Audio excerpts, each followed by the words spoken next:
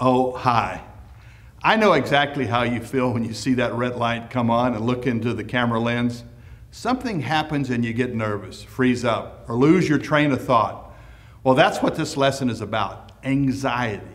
Camera shyness is very common, and it's the number one reason why people put off making videos. Most of us don't feel comfortable appearing on camera. The main thing that shuts people down is what I call the inner critic. The inner critic exists because your subconscious believes it to be your protector for better or for worse. It's that little guy on your shoulder who whispers in your ear, You're not an actor? Stop it. People are going to be laughing at us. Well, in order to silence that negative voice, you need to recognize your critic and say to it, Hey, cut me some slack. This is going to be fun. And if your inner critic doesn't listen, reach over your shoulder and pick him up and throw him out the window. This little trick helps you take control of your subconscious.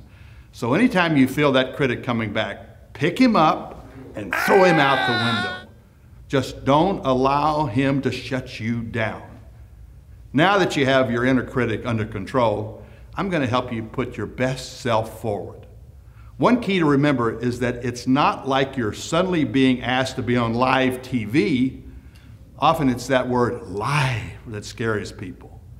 And as an actor, I know stage fright is real, but shooting video is like writing a draft of something. You try it and then you look at it. You have control over it. If you don't like it, you do it again.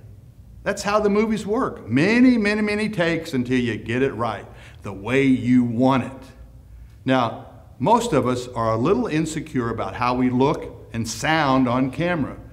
That's only natural. But don't think for one second that web video needs to be held to the same standards as professional TV.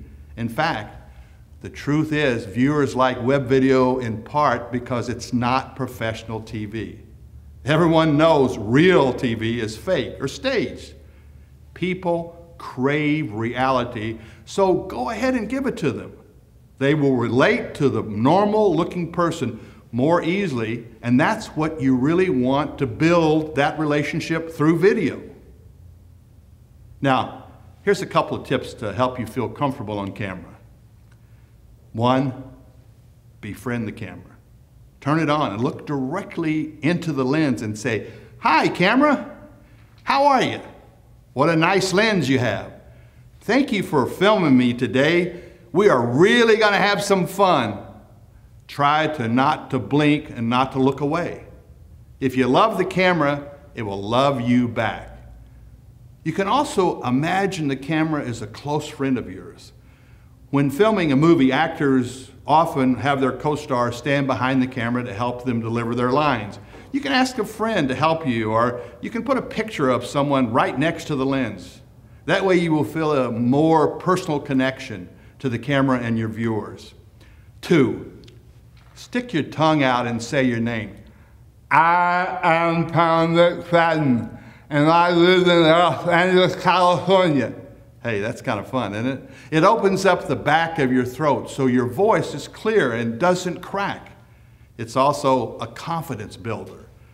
So always do this before you start your videos. Three, do some quick physical warm up exercise. Start with some deep breathing. Take it in and let it out. Then stand up and loosen and loosen up your muscles. Shake it out. This is forces your body to release its tension and boost your energy, which will enhance your performance. Feeling comfortable on camera might take some practice, so allow yourself some time to get used to it. And the more you practice, the more comfortable you'll become. I hope this advice helps you overcome your anxiety and silence your inner critic. Remember, there are no mistakes. Just relax and have fun.